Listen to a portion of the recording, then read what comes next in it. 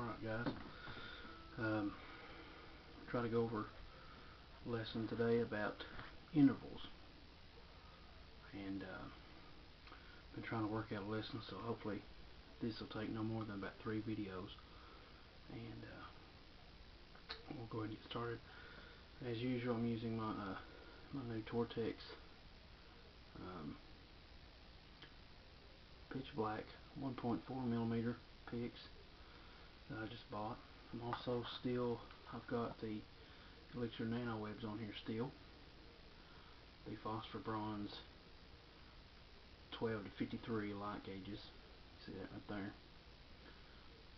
Um, these strings are about ready to be changed. I've had these on since the first part of January. And they're about ready to be changed. The good thing about that is, is even though I'm using a thicker pick, they sound, you know, still sound pretty good. But if they start to dull, you could always use your Dunlop Ultex picks. This is one millimeter. You can always use your Dunlop Ultex picks and make it sound brighter.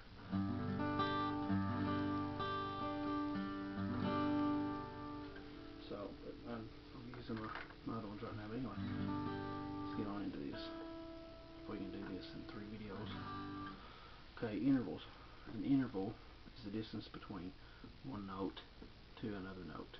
Simple as that. How are intervals used? Okay. What I want to get across to you is there was a guy by the name of Don Latarski and if you look up his video called Music Theory Made Easy um, I got a lot of interesting facts from him on that video. I recommend it. It's kind of cheesy. The production's kind of cheesy, but he gives really good information. And one of the things that stuck with me uh, is his uh, method of interval, uh, recognizing intervals and using them. And I'm going to use some of what he taught that day um, and on that video. If you see it, you've probably seen it a dozen times before. It looks like uh, like a, a bright orange or red case, and it's got like little bubbles floating around that are different colors like orange and blue and yellow and green. And they've got like um, I think they've got musical notes in them or something but that's what it looks like. It's by Don Latarski and it's got a picture of a white electric guitar on top of it in the front so check that out. But let me show you what intervals is. Intervals the first thing you gotta know is, is uh, a, basic form of a major scale. For these examples I'm using G right now. So the G major scale, first position, actually the, I guess it's the uh, second or third position, open position. We're at the nut up here. It's this. That's the bass note. Most of you probably know this, so I don't have time to go over it exactly, so we'll start from here. And we start out there.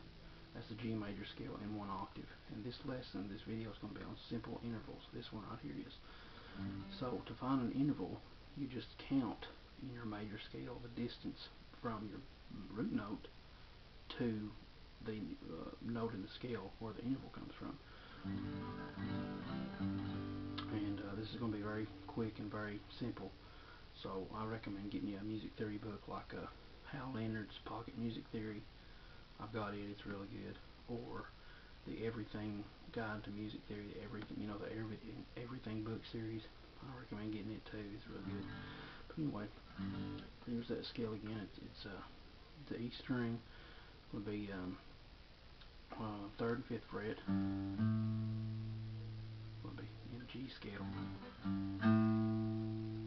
up here to the A string of a 2, 3, and 5. And then in the uh, D string it's going to be 2, 4, 5.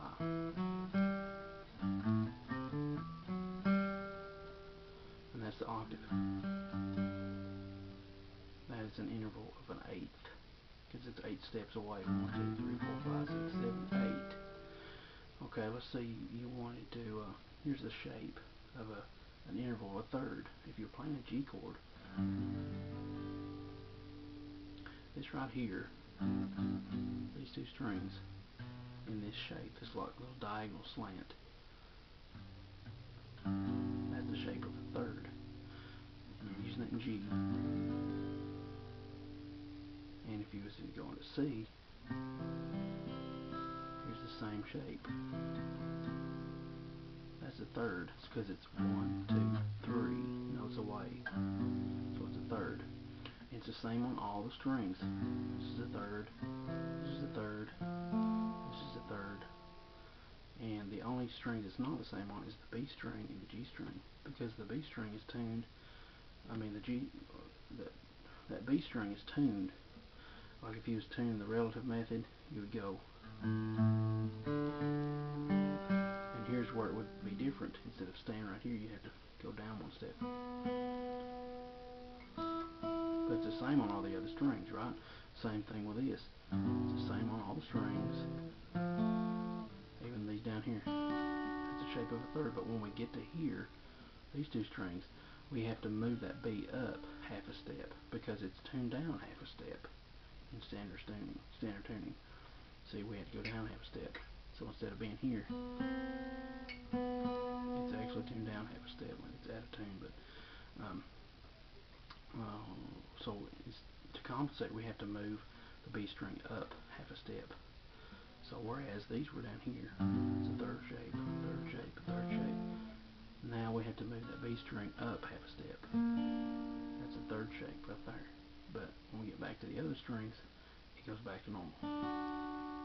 So the same across all strings. That's with all these intervals. Now the next interval um, is a fourth. So one, two, three, four. And it's a suspended note.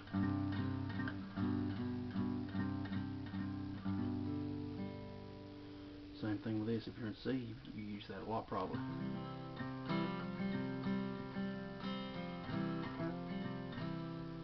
That's a C suspended note. Fourth note. Same across all strings. Except when you get down here, you got to move from that third up half a step. If you're playing an A chord, you use that a lot because it's a suspended note. Um, same thing down here. If your note is D, if your root note is D, then suspended would be the G here. So it's the same across all strings, except for down here, you have to move it up half a step. I hope you can see this. But so the next one is a fifth, and you know this because of the power chords. One, two, three, four, five.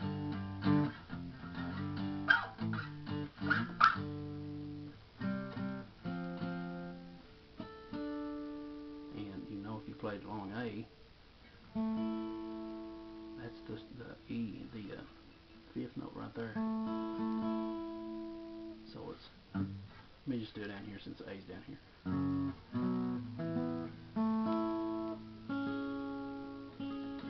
Probably see it easier if I do that. So that's the fifth uh, interval, root of a uh, note of a fifth. Four, five. Six is the next one. A little different because these are not on adjacent strings. But it's going to be the same concept.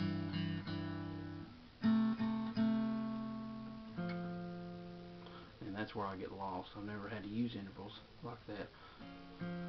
I guess it'll be there because it's instead of still go back to the old principle.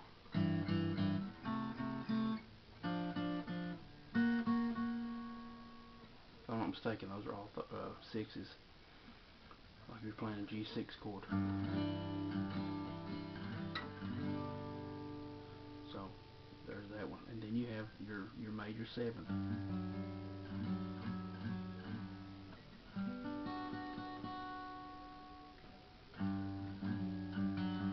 That's the interval of a major seventh, a seventh, four, five, six, seven in the scale. To the octave.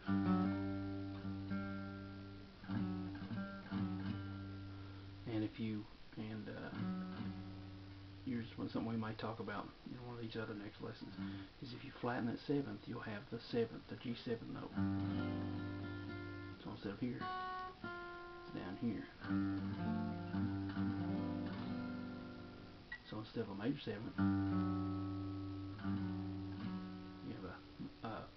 minor seventh.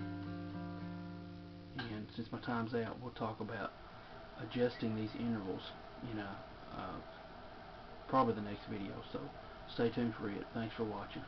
Subscribe, please.